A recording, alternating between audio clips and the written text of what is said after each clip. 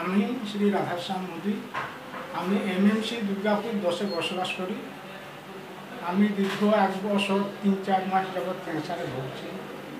তা আমি মহানন্দ যে ক্যান্সার হসপিটাল আছে, আমি এখানে দু মাস কি তিন মাস দেখাচ্ছি।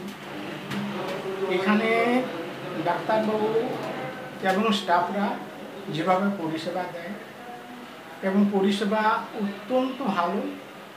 এই পরিষেবার ফলে আমি এখন অনেকটা ক্যান্সার থেকে মুক্ত বলব না, কিন্তু বহু সুবিধা ভোগ করেছি, যেমন হাঁটাচলা করতে পারছি, যেটা আগে পারতাম না, এখন আমি পাচ্ছি কোনো জিনিস আমি খেতে পারতাম না, এখন প্রচুরভাবে খাচ্ছি, যার ফলে আমি একটু হাঁটাচলা করতে পারছি এবং খুব সুস্থ আছি।